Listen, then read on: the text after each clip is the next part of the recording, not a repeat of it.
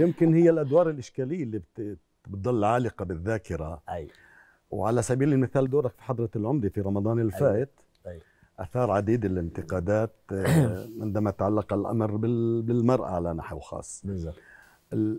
لأي درجة هذه الانتقادات محقة في من وجهة نظرك بكل تجرد؟ ال- الشخصية؟ مم. محمود نجيدة هو شخص موجود آه، وكان موجود.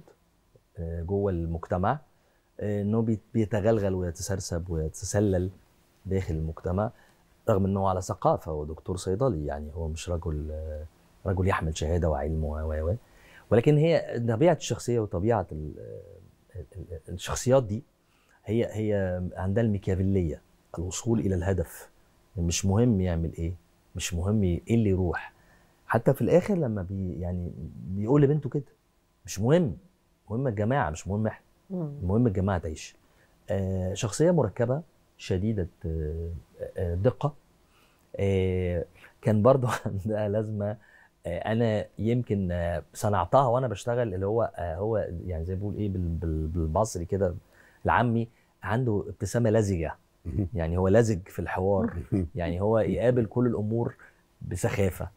و, و... تبلد. آه الواحد شاف الحاجات دي, دي. طبعا كتير. جدا. بس أنت لما بتعمل شخصية دايما أقول الشخصية اللي أنت بتبقى شفتها وجوه المجتمع بتبقى أصعب الأشياء. طبعا. مش سهلة ابدا. أكيد. لأنك أنت إزاي توصلها بشكلها الخارجي طبعا. والداخلي. ما هو عشان تحدث التأثير المطلوب لأنك أنت بالظبط. بتحكي عن واحدة من أهم القضايا المجتمعية. بالظبط.